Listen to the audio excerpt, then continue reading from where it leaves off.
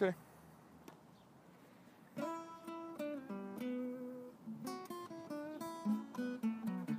Officer Galusha is back to harass me on something he doesn't even understand. He gave me an exclusion, but he doesn't know that when you appeal, you're allowed to be in the place that you're not allowed in once they finish appealing, hearing the appealing.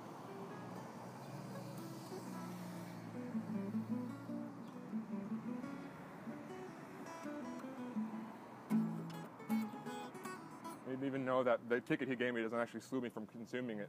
Because it's uh, he only cited the possession thing, and possession I'm allowed to have when I'm a medical patient, so he didn't do his due diligence to find what thing I was actually violating. So that alone should get the thing thrown out on technicality, let alone the fact that even if he did find something legitimate, that's actually a violation of equal protection, because medication is medication.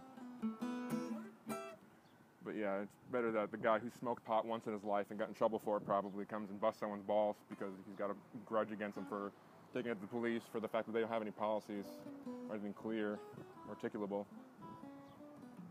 Causes them to be unsafe too, you know.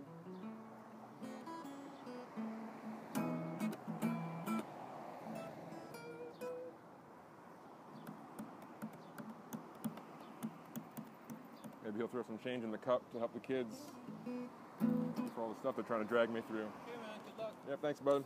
Have a good one.